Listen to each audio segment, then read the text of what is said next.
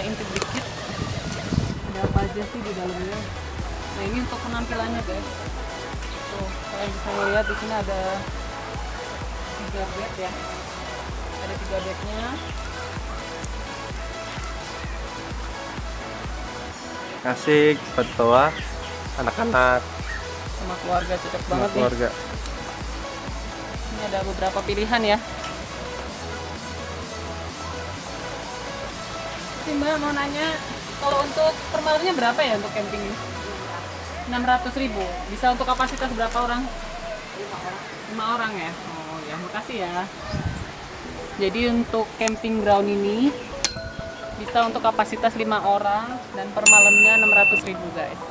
Jadi buat kalian yang berminat sama keluarga yang mau camping di sini di Nyali. Selain tempat wisata, jadi Villa Kayangan ini juga merupakan tempat penginapan ya guys. Buat kalian yang pengen nginep di villa, ini cocok juga nih Villa Kayangan. Karena view-nya bagus, banyak spotnya, view-nya pokoknya kece banget deh. Dan pantas saja tempat ini viral di medsos. Emang bener-bener seindah itu sih guys.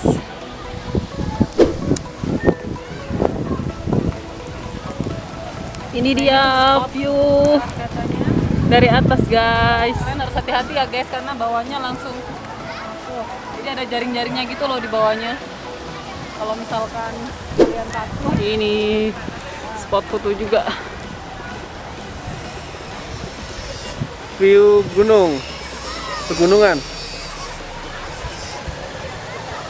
Foto. Capek. Capek banget. Keluarnya. Oke guys, sekian review dari aku mengenai Villa Kayangan ini. Jadi kalau menurut aku tempat ini recommended banget buat kalian yang ngajakin keluarga karena di sini tuh tempatnya super nyaman ya dan luas banget. Dan di sini juga banyak arena buat bermain anak-anak, kayak ada kolam renang, ada eh, camping ground juga karena selain tempat ini adalah villa, tempat ini juga dijadikan untuk tempat wisata. Jadi eh, menurut aku sih worth it banget sih dengan harga 30.000 kalian bisa menikmati semua fasilitas yang ada di sini. Tapi tadi ada fasilitas tambahan ya, tadi udah aku jelasin di awal.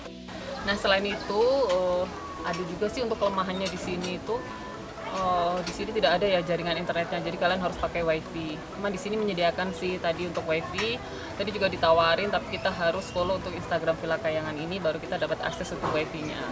Jadi buat kalian, pokoknya siap-siap aja deh, kalau di sini tuh kalian nggak bisa internetan, tapi karena memang di sini tempatnya bagus banget sih. Jadi aku sendiri ke sini jauh-jauh datang dari Bekasi itu bener-bener karena pokoknya Terbayarkan. terbayarkan antara capeknya dengan apa yang dapat di kita dapat di sini. Oke, sekian review dari aku. Buat kalian jangan lupa untuk like, comment, dan subscribe-nya. Oke, bye.